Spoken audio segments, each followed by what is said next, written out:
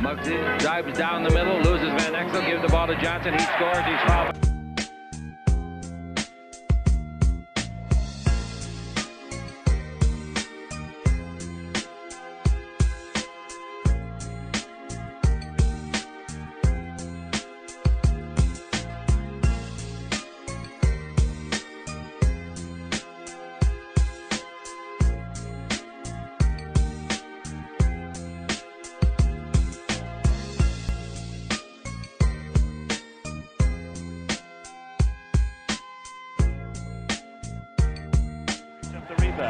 Hornets lead it by three. Bogues to Curry, who's open.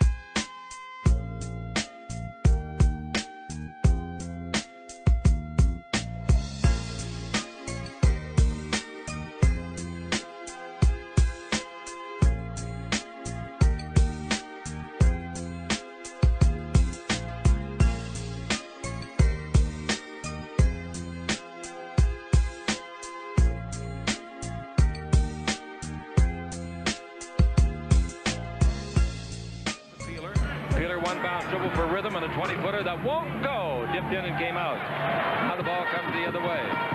Underneath the ball to Hawkins What and he pass. scores. What a great pass for his seventh assist by Muggsy Bogues. Normally that pass gets deflected because it wasn't a bounce pass, but Muggsy credit to me.